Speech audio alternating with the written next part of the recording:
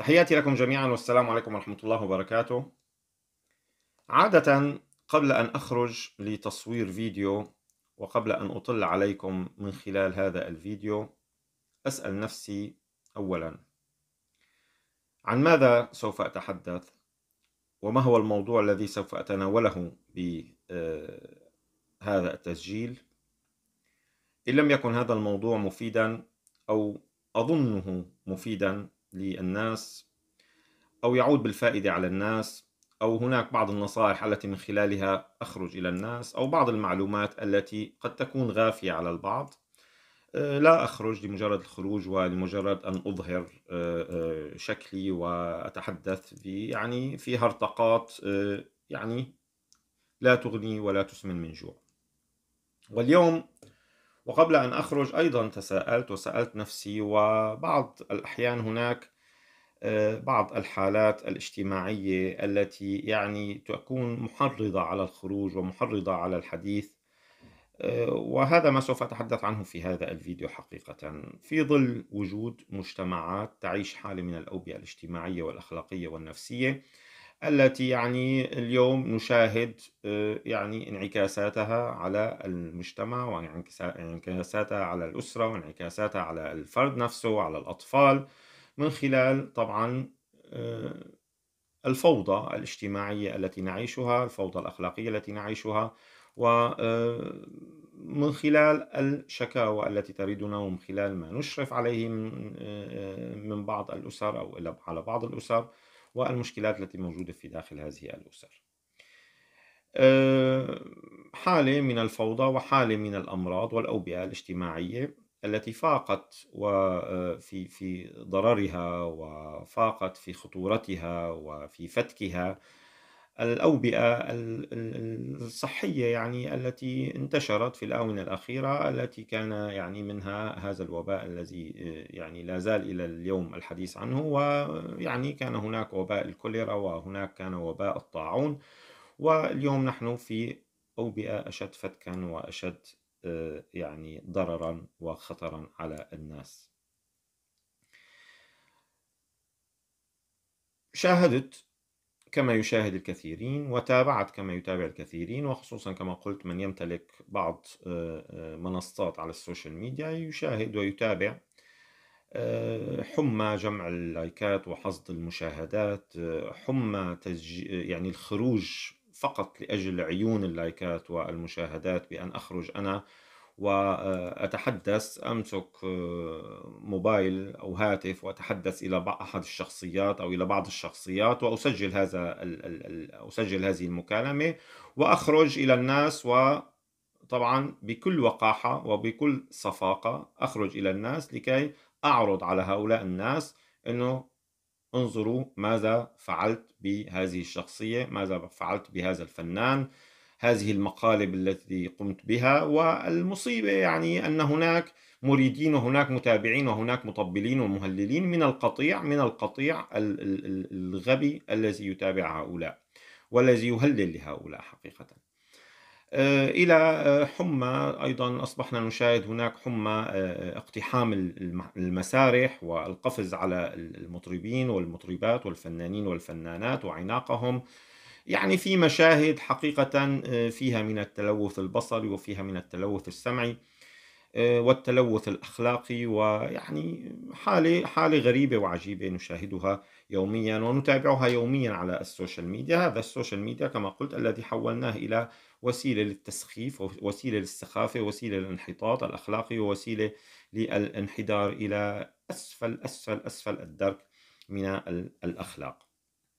طبعا هناك حمى أخرى نوع آخر من الحمى هو حمى آه، آه، الهجرة الذي يعني بعد أن همد قليلا منذ سنوات إلى أنه عاد اليوم إلى الواجهة قوافل تحاول الهجرة وتحاول الذهاب إلى المجهول حقيقة والخروج إلى المجهول إلى عالم لا تعلم إلى أين ذاهبة إنما بسبب الواقع الذي تعيشه. وقد يخرج البعض ويقول أنت يعني ما بتعرف أنت الوضع اللي عايشينه هؤلاء الناس وما بتعرف الوضع اللي هن فيه. لذلك يعني لا تستطيع أن تلوم هؤلاء الناس على الخروج بهذه القوافل آه، رغما بأنهم لا يعلمون إلى أنهم ذاهبين حقيقة. وهذا ما شاهدناه وهذا ما تابعناه ونشاهد بأنه بعشرات الآلاف خرجوا إلى الحدود التركية اليونانية آه، حالة حالة مأساوية حقيقة وحالة نشاهدها اليوم بعد هذا الملعون المسمى الربيع العربي الذي يعني ليس فقط من ديكتاتوريات الحكومات العربية وإنما أيضا من غباء فئة كبيرة من الشعوب العربية وصلنا إلى ما وصلنا إليه وطبعا بغض النظر عن المؤامرات التي حيكت لنا من قبل الغرب والترصد لهذه البلاد وجعلها دائما في حالة من الفوضى وحالة من الحروب وحالة من الدمار. تدمير داخلي تدمير ذاتي وهو أشد وأبشع أنواع التدمير حقيقة ووصلنا إلى ما وصلنا إليه. واليوم أيضا أنا تحدثت في الآونة الأخيرة وكثيرا ما تحدثت عن ما يسمى بحمى الإنجاب وحمى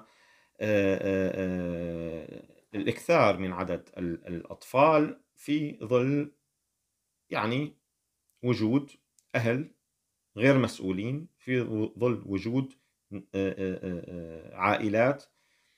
يعني همها الوحيد هو الإنجاب وكثرة الإنجاب بدون النظر إلى آه، ماذا سوف يأتي بعد هذا الإنجاب. كيف أستطيع أن أربي هذا الطفل تربية سليمة وصحيحة؟ كيف أستطيع أن أؤمن لهذا الطفل حياة كريمة؟ كيف أستطيع أن أؤمن لهذا الطفل آه، علم آه، ينتفع به؟ كيف أستطيع أن أؤمن لهذا الطفل لعبة يستطيع اللعب بها؟ كيف أستطيع أن أؤمن لهذا الطفل مستقبل أفضل من المستقبل الذي أفضل من الواقع الذي أنا أعيش فيه حاليا أنا وزوجتي؟ في ظل غياب كما قلت المسؤولية عن هؤلاء الأهالي. في اليومين الماضيين انتشرت على مواقع التواصل الاجتماعي أو انتشر فيديو لأحد الآباء الذي يرمي بطفله المتوفى من قارب في البحر المتوسط. وطبعا كان ذلك أثناء سلوك بعض المهاجرين غير الشرعيين طريق اللجوء والهجرة اللا شرعية خارجين وقاصدين المستقبل المجهول والعالم المجهول والطريق المجهول. ويقول الخبر طبعا إلقاء لاجئ سوري لأحد أطفاله في البحر بعد أن فارق الحياة متأثرا بالعطش والجوع. خلال رحلة هجرة غير نظامية في عرض البحر الأبيض المتوسط في حالة طبعا تسبب هذا المقطع بحالة من الحزن على منصات التواصل الاجتماعي. وثق المقطع لحظات عصيبة وفاجعة كبيرة وفق وصف المغردين حيث كفن الأب بملابسه جثة ابنه. وسط صدمة وفزع بقية الركاب على متن قارب الهجرة. وعاش الحادثة المأساوية نحو 32 مهاجرا. نفذ منهم الطعام والشراب والوقود في عرض البحر ولم يحتمل ستة ركاب بينهم أطفال. هذه الظروف القاسية وفارقوا الحياة. طبعا أنا لا لن أعرض هذا الفيديو لأنه آه، حقيقة مؤلم مؤلم جدا. لكن عندما أشاهد هذا المشهد المحزن والمأساوي والكارثي أتساءل هل يستحق أو هل تستحق أوروبا أو هل تستحق بلاد اللجوء وبلاد الهجرة بأن أنا أعيش هذه اللحظات العصيبة؟ لست أنا فقط إنما أنا وعائلتي وزوجتي وأسرتي وأطفالي الذين قد يكون بينهم أطفال رضع. وهذا الطفل هو طفل رضيع. أنت اليوم عندما ألقيت بطفلك في هذا البحر يعني طبعا يخرج البعض الآن لكي يقول أنت ليش بتعرف الظروف اللي كان عايشها لحتى انجبر على هذا الخروج؟ ايا كانت الظروف. وأنا لا أتحدث بموقع بأنني أنا اليوم يعني ولا على بالي وقاعد في أوروبا وإلى آخره ولا على بالي مناقصني شيء وهؤلاء كانوا عايشين في حالة من ال يعني حالة مزرية حقيقة ويعني لم يبقى لديهم إلا أن يخرجوا في هذا الظرف. إن أردت أن تخرج فاخرج أنت. وتحمل أنت مسؤولية حياتك. لا يحق لك وإن كنت سبب من أسباب وجود هذا الطفل وإن كنت والد هذا الطفل. لا يحق لك بأن تقرر عن هذا الطفل بأن تعرضه للخطر عبر هذه الهجرة غير الشرعية عبر قوارب ونحن نعلم هذه القوارب كيف تكون آه، حالتها وعبر وجود مهربين مجرمين آه، تدفع إليهم عشرات الآلاف من الدولارات للخروج ولا تعلم إلى أين أنت ذاهب ولا تعلم ماذا سوف يحصل معك في الطريق ولا تعلم ماذا سوف آه، آه، يواجهك في الطريق ولا تعلم إلى أين سوف تصل وهل سوف تصل أم لا تصل. وأسئلة أخرى يعني أسئلة حقيقة الإجابة عليها صعبة وصعبة جدا وصعوبتها تنبع من أنك تريد أن تجيب على مجهول. صعوبتها بأنك تضع حياة أشخاص من المفترض أنت كوالد أو كأب أن تكون مسؤول عنهم إن كانت زوجتك وإن كان أطفالك أنت مسؤول عن حياة هؤلاء. إذا أردت أن تخرج إلى طلبا للجوء والهجرة اخرج اخرج لوحدك. كل شخص مسؤول عن حياته الشخصية. لكن أما أن تعرض حياة أطفالك للخطر وللموت وأن ترمي بعد ذلك جثة طفلك في البحر فهذا يعني إجرام إجرام على أعلى المستويات. وتبدأ الجريمة منذ قرارك بأن تخرج مع أطفالك الذين منهم رضع إلى وتسلك طريق الهجرة وطريق اللجوء اللا شرعي من هنا تبدأ الجريمة. من هذا القرار الذي اتخذته؟ بحق زوجتك وبحق أطفالك. اليوم أنت خرجت ووصلت لنفترض أنك أنت رميت بطفلك ووصلت إلى هذا العالم العظيم ووصلت إلى هذه الجنة الموعودة ووصلت إلى يعني مدينة الأحلام ودول الأحلام. آه، كيف تستطيع يعني أن تستمر في حياتك؟ كيف تستطيع الاستمرار في حياتك وأنت الذي رميت بطفلك بإيديك؟ إلى البحر. تلتهمه آه، آه، الأسماك والحيوانات موجودة في البحر. كيف تستطيع أن تنام؟ كيف تستطيع أن تغفى؟ كيف تستطيع أن, أن, أن يعني تستمر في حياتك بشكل طبيعي؟ كيف وكيف وكيف؟ وعندما خرجت وتحدثت أنا سابقا وقلت ليس المهم أن تنجب طفلا فالحيوانات تنجب أطفالا والكلب ينجب جروا والحمير والبغال كلها تنجب وكلها تتكاثر. لكن أنت يعني من المفترض أن تكون إنسان وخصك رب العالمين بالعقل لكي تفكر لكي تعمله لكي تشغله وأنت أبعد ما تكون عن تشغيل وإعمال العقل. وهذا الأمر ينطبق على هؤلاء الذين يتواجدون في المخيمات مخيمات اللجوء وتحت الخيام في ظل أقصى الظروف وفي وفي ظل آه، يعني ظروف جوية وظروف الفقر وظروف العوز والحاجة وكل الظروف القاسية الموجودة في هذه المخيمات والذين ينجبون بدون حدود وبدون أي سؤال لأنفسهم إلى أين نحن ذاهبون مع هؤلاء الأطفال؟ وكيف سوف يعيش هؤلاء الأطفال؟ ونشاهد يوميا على وسائل الإعلام كيف يعيش هؤلاء الأطفال. وما شاهدناه من خلال هذا الفيديو الذي عرض على منصات التواصل الاجتماعي هو غيض من فيض ما يحدث حقيقة وما حدث في طريق الهجرة وطريق اللجوء بحق الأبناء وبحق الأطفال وبحق الرضع. هذا غيض من فيض لما لم يشاهدوه. هذا ما صور. هناك أمور لم تصور. هناك حالات غرق هناك حالات اختناق هناك حالات آه، موت من من الجوع ومن العطش. هناك حالات يعني يندى لها الجبين لم تصور. هذا ما صور لكم وهذا ما عرض لكم وما خفي كان أعظم.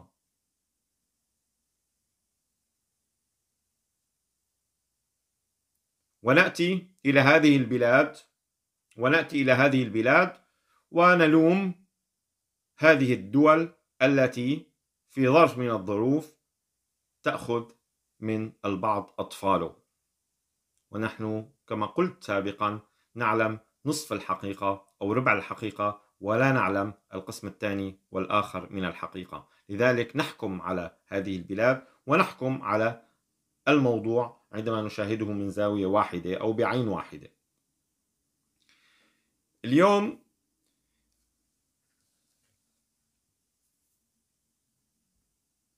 اتخاذ قرار الإنجاب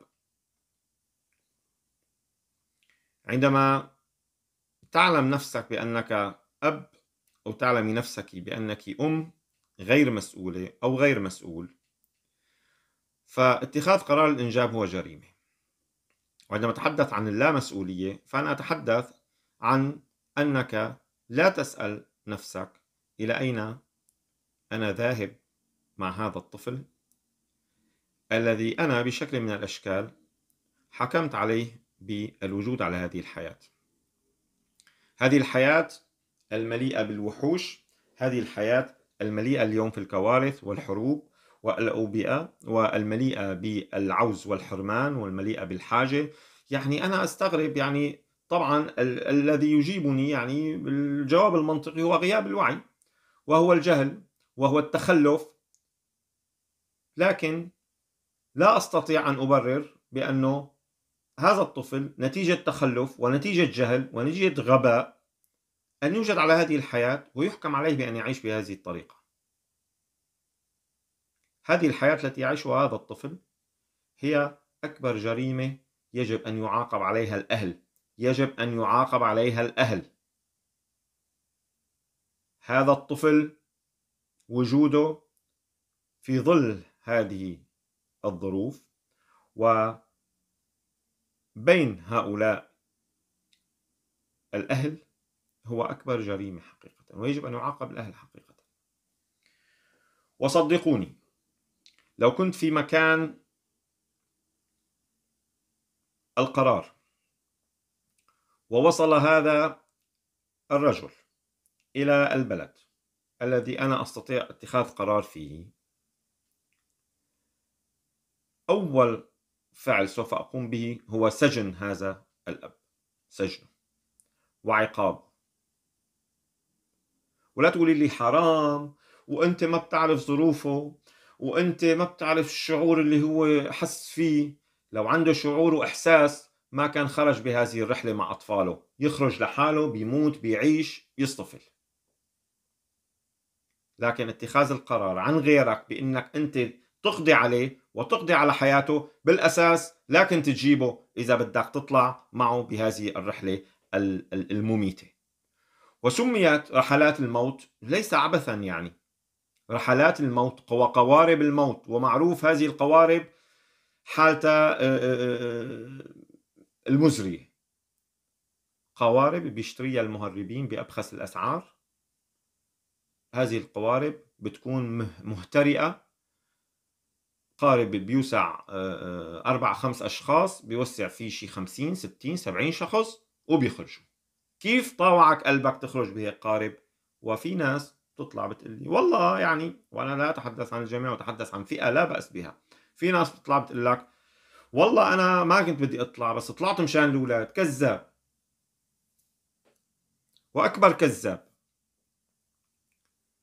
يلي طالع مشان اطفاله ما بيعرضهم للخطر أنا والله ما طلعت بدي اطلع بس لكن طلعت مشان الأطفال.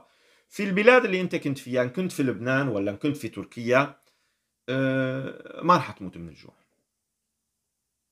ما رح تموت من الجوع. قد ما كانت الظروف قاسية. قد ما كانت يعني أكثر من ناس عاشت حروب في بلادها. أكثر من القذائف اللي كانت تنهمر مثل المطر عليهم. أكثر من من انقطاع المياه عن عن بعض المدن لشهور أكثر من انقطاع للكهرباء وأكثر من من تعرضهم لأقسى الظروف الجوية. عاشوا. اللي عاش عاش. والناس مرقت بظروف أقسى من الظروف اللي عم بيعيشها الناس اللي كانوا في لبنان واللي كانوا في تركيا. أقسى بكثير واللي كانوا قاعدين جوات البلد. بغض النظر بأي منطقة لكن أنك أنت تخرج ومعك هؤلاء الأطفال تعرضهم للخطر فهذه أكبر جريمة. والله طلعنا مشان الأولاد كذب هذا الكلام. أنت لم تخرج من أجل هؤلاء الأطفال. وأنا كما أعيد وأكرر أنا لا أتحدث عن الجميع وأتحدث عن هذه الفئة الأنانية وهذا الرجل وهذا الأب الأناني الذي لم يخرج من أجل أطفاله. اللي بيفكر بأطفاله ما بيطلع معهم بهذه الطريقة وما بيطلع معهم بهذه الخطورة التي يعني نسبة 80% فيها خطورة وفيها تعرض للموت وتعرض للحياة بالخطر. وكثير من الأطفال غرقوا. كلها قرارات يعني لا أعلم. بتقول لهم يا أخي انتبهوا إلى موضوع الإنجاب. ظروف الحياة اختلفت. الحياة اختلفت. إنك تسيطر وتربي طفل وطفلين وثلاثة غير لما تستطيع أن تسيطر على تربية تسعة أطفال وثمانية أطفال وعشرة أطفال. جهل تخلف انعدام للمسؤولية انعدام تام للمسؤولية أدى إلى ما أدى إليه وسوف يؤدي إلى ما سوف يؤدي إليه. اليوم فرحانين على عم بيجيهم مصاري من من من من كسرة الأطفال بكرة بتشوفوا لما الفلتان بيشتغل وبكرة بتشوفوا على ما غير قادرين على إنه يضبوا أطفالهم. كل واحد بينحرف بطريق وكل واحد بيروح باتجاه وهداك الوقت إذا كان في حس بيعضوا أسابيع الندم.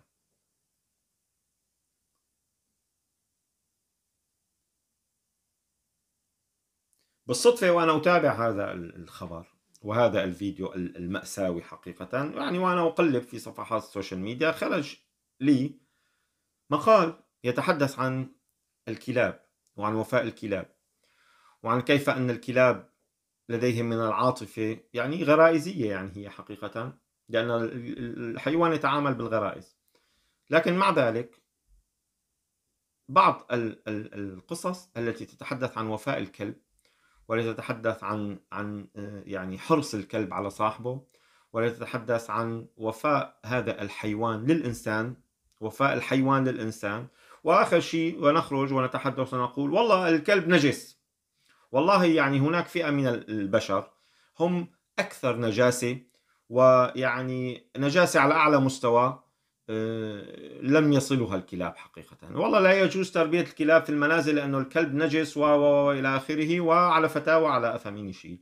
ونشاهد ما نشاهده يعني على مستوى الواقع ومستوى الإنسانية نشاهد بأنه الكلب هذا هو أكثر إنسانية من هذا المسمى إنسان هذا الكائن البشري المسمى إنسان الذي ليس في ليس في قلبه أدنى أدنى مستوى من الرحمة وأدنى مستوى من الإنسانية وشاهدنا ما شاهدناه يعني ويعني الواقع يتحدث ولا داعي لأن أسرد إليكم الوقائع التي تتحدث عن هذه النجاسة التي خرجت من الإنسان.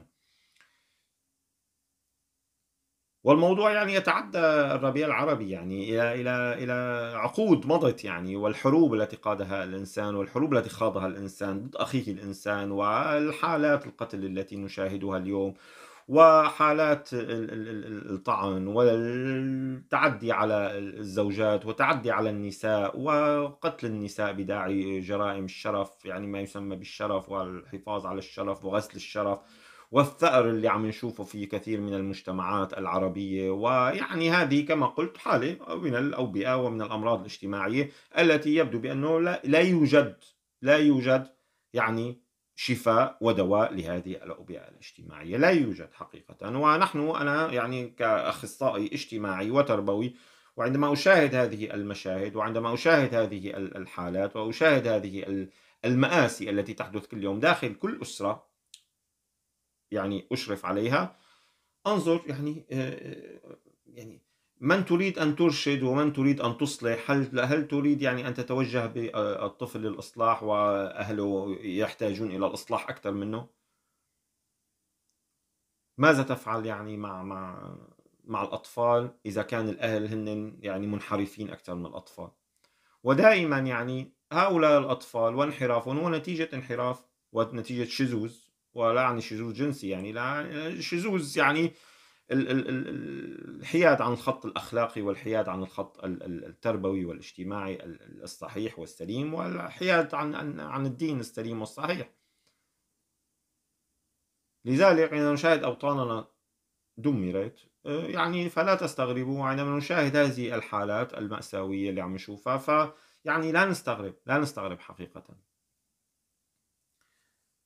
مظاهر يعني على السوشيال ميديا عم نشوفها كل يوم ما شاء الله شيء يعني آه، بيرفع الرأس حقيقة. شيء بيرفع الرأس. أنا لا أتحدث عنها في هذا الفيديو لكن أنتم تعرفوها أعتقد يعني يعني شيء شيء يعني غير معقول غير معقول. هذا بيحكي على هذا وهذا بيحكي على هذا وهذا بيحكي على هذا كل واحد بيعمل بيطالع يعمل لي بطولات آه، سوراجية هو قاعد بآخر الدنيا ويتحدث عن يلا استمروا بالقتال ويلا استمروا بالنضال ولا است... حبيبي يلا استمروا بالنضال والقتال وأنت قاعد قاعد مو ناقصك شيء. والعالم عم بتموت. تعطش عندهم تعطش لرؤية الدماء وتعطش لرؤية الموت وتعطش لرؤية ال... القتل ويعني حالة من التوحش الذي يعيشها فئة كبيرة من مجتمعاتنا ويعني أشخاص حقيقة يعني مشاهم ال social media ومشاهم بعض آه، آه، آه، ما يسمون أنفسهم مشايخ يعني هم مشايخ للفتنة ومشايخ للقتل ومشايخ للتدمير. ويعني ال social media لعب دوره بجر هؤلاء قطيع الحمير إلى ما أرادوا ووصل إلى ما وصل إليه. ونحن اليوم مهمتنا أن أخرج وأنا وغيري ويعني الذين لا يتابعهم الكثيرين ليش؟ لأنه يتحدثون بالواقع ويتحدثون بإسداء بعض النصائح وبعض الأمور التي قد تفيد الناس حقيقة يعني اللي غير واعيين لحياتهم وغير واعيين لمستقبلهم وغير واعيين لمصلحتهم الشخصية يعتقدون من المصلحة الشخصية أنا أطلع وتابع حالات ال ال ال القرف وحالات الضحك والمسخرة واللعب ويعني التعري وكل هذه الأمور التي يعني أصبحت من يومياتنا. ونخرج وننتقد أطفالنا شزوا. أطفالنا يعني ليش عم بعاني مع الطفل؟ أكيد بدك تعاني مع هذا الطفل لأنك أنت سبب وجود هذا الطفل وأنت شخص غير مسؤول وأنت مجرم بحق هذا الطفل وكل طفل أنجبته وأنت غير مسؤول عنه.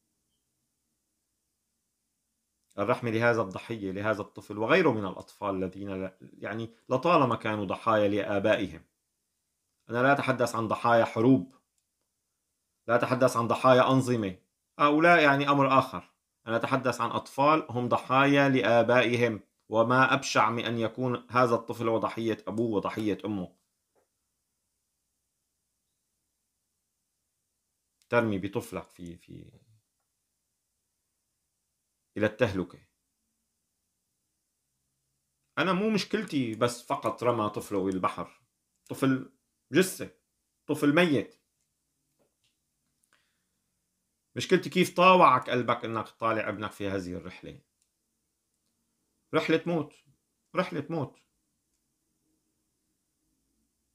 تعرضوا لانقطاع للغذاء وانقطاع للماء صاروا يشربوا من مية البحر مية البحر المالحة. أدت إلى تعرض بعض الناس إلى الإسهال الشديد وجفاف ويعني أدى إلى ما أدى إليه. وهذا الطفل لم يكن فقط هو الضحية يعني هناك أطفال آخرين كانوا ضحايا. لكن هذا ما صور إليكم وما صور إلينا وما شاهدنا. حقيقة يا جماعة الحديث يطول وأنا يعني حقيقة أشعر بالقرف وأشعر بالإشمئزاز من من هذه المظاهر وهذه من البشر حقيقة بشكل عام ويعني لا زال وجود هناك آه، بعض الخيرين والناس الطيبين والخيرين وبعض العقلاء لكنهم حقيقة وللأسف قلة قليلة أمام هذه المشاهد المأساوية وهذه الكوارث البشرية والكوارث اللا أخلاقية ويعني العقول البهائمية والغبية التي يعني نشاهد نتائجها اليوم وسوف نشاهد نتائجها لاحقا حقيقة ويعني هناك مثل شعبي نقوله في مجتمعاتنا أو عبارة تقول الله ينجينا من الأعظم يسأل سائل هل هناك أعظم؟ هل هناك أعظم من ما نشاهده اليوم؟ نعم هناك أعظم والله ينجينا من الأعظم ويعني نتمنى أن يعني ما بعرف يعني أن لا نشاهد هذه الأمور بكثرة أنا على يقين بأنه سوف نشاهدها لكن أت... الأمنية اللي تخيلوا عم بتمناها أنه لا نشاهد هذه الأمور بكثرة. هذا بيقتل رفيقته بالجامعة لأنه آه، ما رضيت فيه. هذا آه، بيذبحها آه، بيتعاطفوا معه بيتعاطفوا مع القاتل. حالة يعني يعني حكيت أنا في فيديو سابق تعاطف مع القاتل. كيف تتعاطف مع قاتل ما بعرف. طيب هلأ هذا اللي قتل رفيقته في الجامعة ما بيشبه هذا اللي قتل ابنه؟ لا هذا ما قتل ابنه لا قتل ابنه. قراره بالخروج بهذا الطريق هو قرار قتل هو قرار قتل. صح هو مات من الجوع ومن العطش لكن من أدى به إلى هذا الجوع والعطش وإلى الموت هو هذا الأب. ولو كان بيدي والله رغم كل الظروف اللي عم بيعيشها النفسية وغير النفسية اللي عم بيعيشها هذا الأب إذا بيوصل إلى هذا البلد سوف أطالب بسجنه ومعاقبته لأنه أجرم بحق هذا الطفل. طالعين مشان أولادنا. لا كذاب مو طالع مشان أولادك. لحتى أولادنا يعني يكون عندهم حياة أفضل وحياة ومستقبل أفضل والعلم أفضل. كذاب. وهذا ما شاهدناه. رح توصل أنت وابنك. وين وصل؟ أكلته الأسماك. أكلته الأسماك.